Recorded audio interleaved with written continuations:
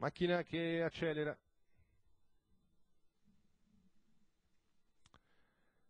Sono partiti.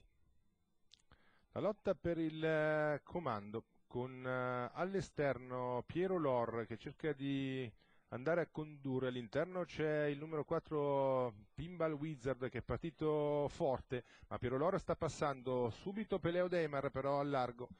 Peleo Deimar che va a spingere su Piero Lor mentre Pinball Wizard è secondo davanti al numero 1 Polifemo Rec con uh, il 13 adesso al comando.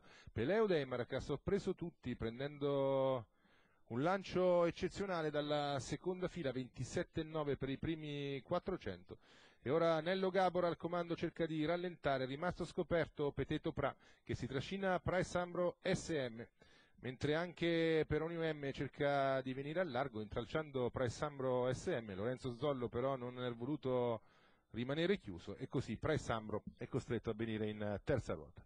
Cavalli dopo 800 metri di gara, 59,7 nel frattempo per il battistrada Peleo Deimar che, che guida nei confronti sempre di Piero Lor quando si giunge al chilometro, passato in 1.15 e mezzo, è dura venire al largo perché il battistrada cammina, Piero Lora alla destra libera, Peteto Pra sul passo si sta mettendo terzo, poi dalle retrovie cerca di avanzare anche il numero 9 Pitti Foto SM.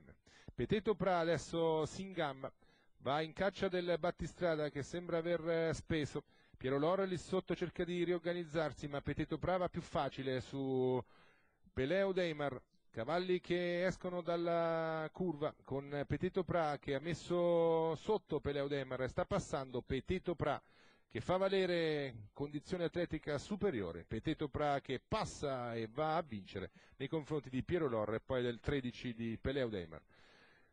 Mentre quarto all'interno il numero 1 di Polifemorec con all'esterno il 9 di Pitti Foto SM. Bella vittoria per Petito Pra, Edoardo Bacalini, la quota di 3,80, 1,15,8 il tempo al chilometro per questo allievo della Starlight allenato da papà Manuel. È tutto per le corse del San Paolo, noi ci rivediamo venerdì, sempre con inizio alle ore 15. Buonasera a tutti.